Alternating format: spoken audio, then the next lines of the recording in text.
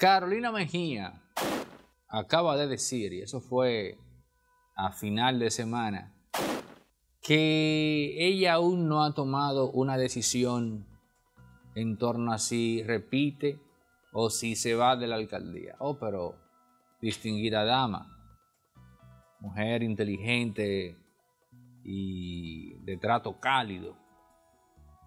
Pero tú hiciste, hija mía, una despedida, una rendición de cuentas, en donde tú hablabas de la importancia de dejar la alcaldía en buenas manos.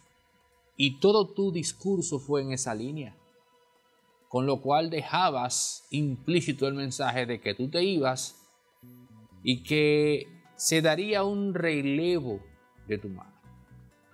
Pero además trascendió, o yo no sé si es que tú no lo sabes, Carolina, que tu papá, Miguel Vargas, y Manuel Estrella se pusieron de acuerdo para proponerle a Luis Abinader que Nene Cabrera fuese tu sustituto como candidato para garantizarle a él la victoria en la alcaldía.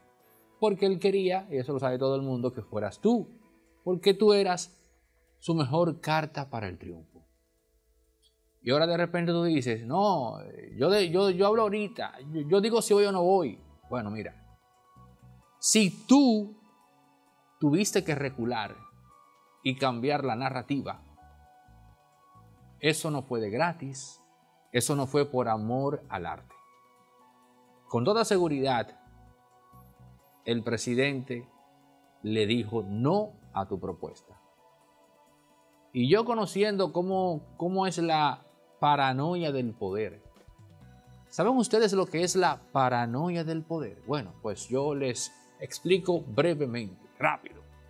Es cuando un presidente está en ese proceso de reelección, haciendo los preparativos, y de repente alguien por allá salta con un comentario en alusión al sucesor de ese presidente cuando él ya no esté en el cargo. A los mandatarios no les gusta eso, Carolina. Si tú llegas a ser presidente, y te ves en la misma situación de Luis Abinader, te vas a dar cuenta a razón de qué y por qué a un presidente eso no le gusta y le enoja mucho. Y tu padre, así como hizo un comentario imprudente cuando tenía las elecciones ganadas en el año 2012, que tuviste tú que salir a dar un media tour hablando de que tu padre era un hombre de trato humano, lo cual es cierto, que tu padre era un hombre que trataba bien a sus domésticas, lo cual imagino que también es cierto, y que aquello se malinterpretó. ¿Lo recuerdas? El comentario del, del salami que no se puede dejar en la nevera porque la doméstica se lo come. Bueno, una impolitada, pero le costó las elecciones. Y tú y yo lo sabemos eso, Tú y sabemos que fue así. Entonces, ahora, ¿qué te hace recular a ti? ¿Qué te hace tener que fijar una postura en la cual tú dejas la puerta abierta por si acaso finalmente decides voy no quedar mal. Un no del presidente. Porque es en manos del presidente, en última instancia, que está ese tema. Ya sabemos que lo de la vicepresidencia se zanjó. Pero el comentario, hija mía, fue cuando en la Z101 una, comunicadora, eh, se me escapa el nombre, hace alusión a la figura de una mujer presidente. E Hipólito de manera ingenua dice, y que sea Carolina.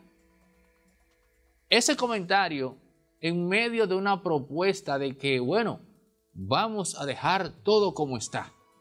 Pero mira Luis, en el 2024, tú tienes que apoyar, el 28 corrido, tú tienes que apoyar a Carolina. Ese comentario en medio de esa negociación fue totalmente imprudente. Y si tú aún no has caído en cuenta el no del presidente, quédate ahí. No te me muevas de la sindicatura. Yo no sé en qué tenor se lo dijo, pero de alguna manera ella entendiese que si insistía, estaba chocando contra una pared. Por eso Carolina Mejía hace ese comentario. Como que si unas dos semanas atrás ella nos dijo todo lo contrario. Esto te envié aquí, entregué, me voy. Tenía todo recogido por lo visto. Y ahora tendrá que volver a desempacar. Pero la culpa no fue de ella. Ella no tuvo la culpa de eso. La culpa la volvió a tener el expresidente Mejía, que no es una persona estúpida como lo pintan, no es un hombre inculto tampoco como lo pintan, es todo lo contrario, es un hombre inteligente, sagaz, tiene una gran capacidad de recall. Es que el presidente como que es sabrosón y él se deja llevar del calor del momento y hace múltiples declaraciones imprudentes. El presidente Mejía, bueno, un hombre de trato cálido, humano, tipo inteligente, tiene un defecto que es que no tiene filtro en su lengua. O una debilidad más bien. El presidente Mejía no tiene filtro en su lengua. Así como hizo el comentario de, de la bombita y lo más genial de ese comentario de la bombita fue cuando él dijo para proteger la democracia. O sea, proteger la democracia como opresión. Solo a Hipólito se le ocurre ese oxímoron. Proteger la democracia con opresión. Tres bombitas para proteger la democracia. Genial. Solo en la mente de Hipólito Mejía se puede prohijar semejante formulación conceptual ese mismo Hipólito hace que su hija tenga que desbaratar los planes ahora. Porque el presidente reaccionando de manera instintiva ante la amenaza de un elemento que está sacando cabeza muy temprano para él, y usted dirá, pero ¿por qué? ¿Cuál es el problema con tener una persona que saque cabeza temprano? Pues sí, déjeme decirle que hay un problema. Porque entonces, desde ya, todos los que están y los que pudieran estar, así como los que el presidente quisiera tener alcance, hacen un mal cálculo y comienzan a programarse en dirección al que viene, al que tiene el potencial. Porque ya con el que están, ellos se olvidan que lo puede quitar. El que está o los que están asumen que seguirán ahí y ya se enfocan en el heredero. Y eso le produce problemas de gobernabilidad a un mandatario. Esa es la principal razón por la cual al presidente no le gusta ver a precandidatos o candidatos potenciales sacando cabeza tan temprano. Y ese comentario de Hipólito sobre Carolina fue en esa dirección. Por ahí comenzó todo.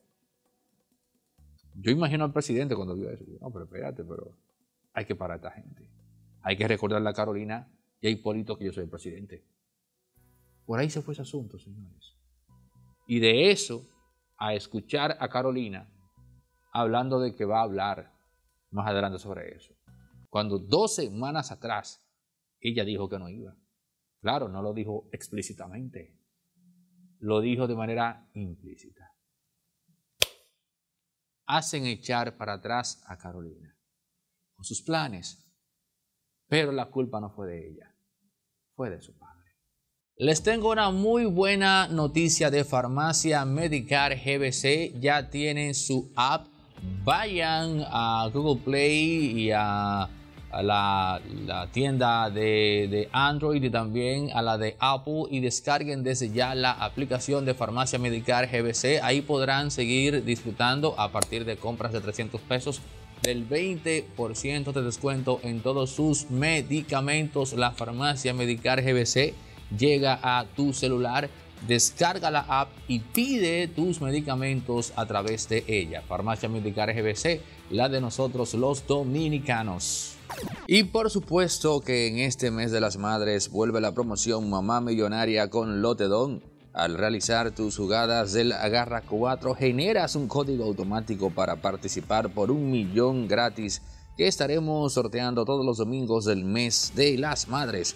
podrás empezar a generar tu código semanales en este lunes primero de mayo arrancamos los sorteos de un millón de pesos gratis. Se realizarán los domingos 7, 14, 21 y 28 del mes de mayo de este año 2023. Super Lotedom te recuerda que debes siempre guardar tu ticket para el sorteo de la semana.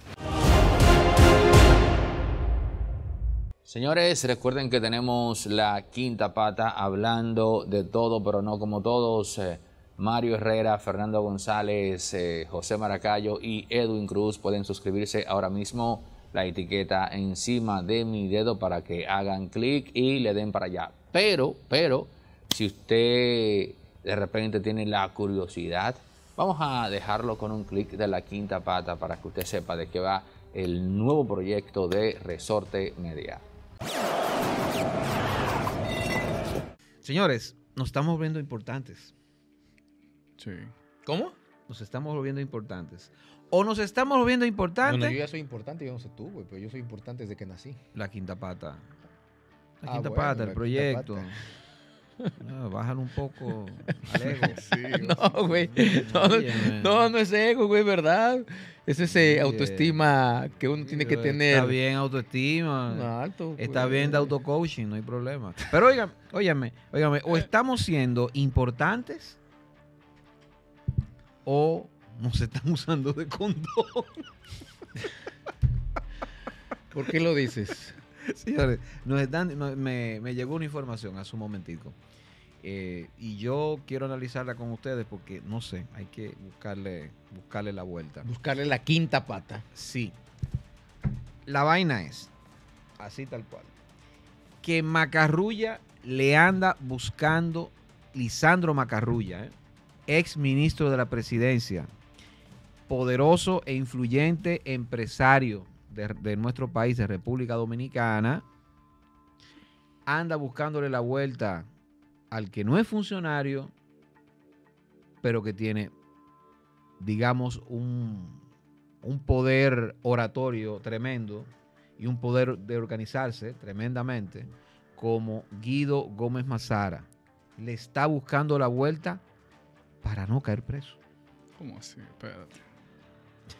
O sea, Ver- Macarulla que está que- pidiéndole un favor a, Gui- a Guido Gómez Mazara para que intervenga eh, como que enlace para que Sí, sí, sí. Jenny Berenice, Eh, por ahí Germán y Eso es. lo saque del expediente. Que le está, le está buscando al lado. Pero, eh, ¿Tú lo sabías? ¿Eh? ¿Tú lo No, no, y te quedaste callado? Es un adivino. No, pero es que eso, Ya, eso es este, la lógica, güey. es la este, lógica. esta es tu fuente. Esa es la lógica. Esta es tu ¿eh? fuente. No, la- las fuentes no se revelan. ¿eh? evidencia. No, las fuentes no se La revelan. fuente, No, Fernando pero- González. él. No, él no fue. disimulé Él no fue, la no, vaina. él No fue. Fui, oye, yo iba bien. Lo que pasa es que tú estabas presente ahí cuando dieron la información. No, Ah, pero es que si Yo- tú estás yo no diciendo sabía eso, nada. mi, mi lógica me dice, me, me, me- me dice Dije, eso. Macarrulla, No, yo no sabía eso. Yo no sabía nada. Y no sé si voy a saber. No quieres saber. Bueno, No sé, vamos a ver. Pero primera yo, no, primera, yo no lo dudo. Este país se maneja a través de relaciones. Tú no vas a poder llegar a nada en este país si tú no manejas relaciones. Y relaciones de poder, tanto económicas como políticas. Tú quieres conseguir un empleo, es más fácil que te lo den si tú eres amigo del dueño de la empresa, aunque no tengas la capacidad para desarrollar eso. ¿Verdad? Y así nos vamos en ejemplos más. Entonces yo, yo no dudo en que pudiera ser que eh, ese empresario poderoso como tú dices pudiera buscar a Guido, tomando en cuenta que si lo busca es porque él sabe o debe de saber que Guido es muy cercano personalmente a Germán o a ¿Quién es Germán? Ah. Jenny Berenice, a la señora procuradora Ok. En dado caso, o al otro fiscal eh, Wilson Camacho. Wilson Camacho. mira, en dado caso, Como para que intervenga de una forma así de, ah, sí, quítamelo. a nosotros nos dieron la información. eh, yo, yo con- incluso cuando me dieron esa información, me hablaron de Jenny de Wilson.